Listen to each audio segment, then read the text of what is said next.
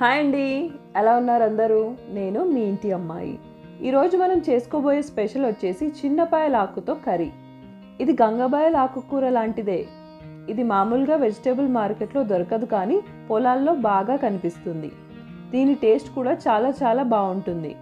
ఎప్పుడైనా మీకు ఇది దొరికితే ఈ కర్రీని తప్పకుండా ట్రై చేయండి.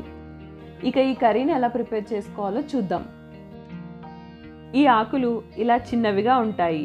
వాటిని నేను బాగా క్లీన్ చేసి పెట్టుకున్నాను. ముందుగా ఒక కడాయిలో టూ టేబుల్ స్పూన్స్ ఆయిల్ వేసుకొని అది వేడెక్కాక పావు టేబుల్ స్పూన్ జీలకర్ర హాఫ్ టేబుల్ స్పూన్ అల్లం వెల్లుల్లి పేస్ట్ వేసుకొని కలుపుకోవాలి.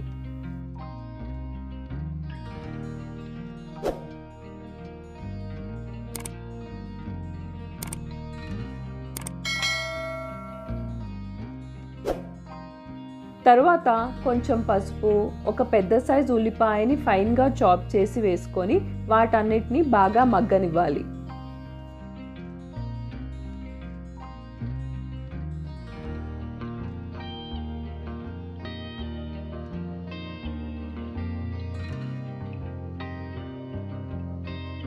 ఉల్లిపాయలు మగ్గాక ఇప్పుడు క్లీన్ చేసి పెట్టుకున్న ఆకుని కూడా వేసుకొని ఒకసారి కలుపుకొని మరో రెండు నిమిషాలు మగ్గనివ్వాలి.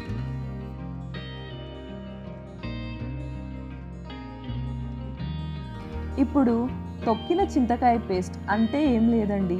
చింతకాయల సీజన్లో వాటిని తీసుకొని ఉప్పు పసుపు యాడ్ చేసుకొని దంచి పెట్టుకుంటే ఒక సంవత్సరం పాటు నిలువుంటుంది కదా. ఇది మామూలుగా అందరి ఇంట్లో అవైలబుల్గానే ఉంటుంది అనుకుంటున్నాను. అది ఒక టేబుల్ స్పూన్ తీసుకొని వాటర్ వేసి వడకట్టుకొని వేసుకోవాలి.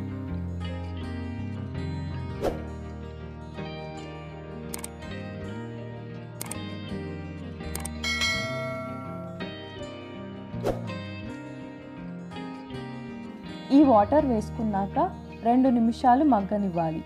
ఫైనల్గా వన్ టేబుల్ స్పూన్ కారం హాఫ్ టేబుల్ స్పూన్ సాల్ట్ వేసుకొని మరో రెండు నిమిషాలు ఉడకనిస్తే చిన్నపాయల కర్రీ రెడీ అయిపోయినట్టే. మీకు ఇది ఎప్పుడైనా దొరికితే ఇది ఇలా ఖచ్చితంగా ట్రై చేసి చూడండి. మీకు చాలా నచ్చుతుంది. ఆ టేస్ట్ని మీరు ఎప్పటికీ మర్చిపోరు కూడా. ఈ వీడియో కనుక మీకు నచ్చినట్టయితే లైక్ చేయండి షేర్ చేయండి నా ఛానల్ని సబ్స్క్రైబ్ చేసుకోండి. పక్కనున్న బెల్ ఐకాన్ని మాత్రం క్లిక్ చేయడం మర్చిపోవద్దు. మీ సజెషన్స్ని కమెంట్స్లో చెప్పండి. తప్పకుండా వాటిని ఫాలో అవ్వడానికి ట్రై చేస్తా. Thank you for watching keep supporting మీ ఇంటి అమ్మాయి. అందరూ బాగుండాలి.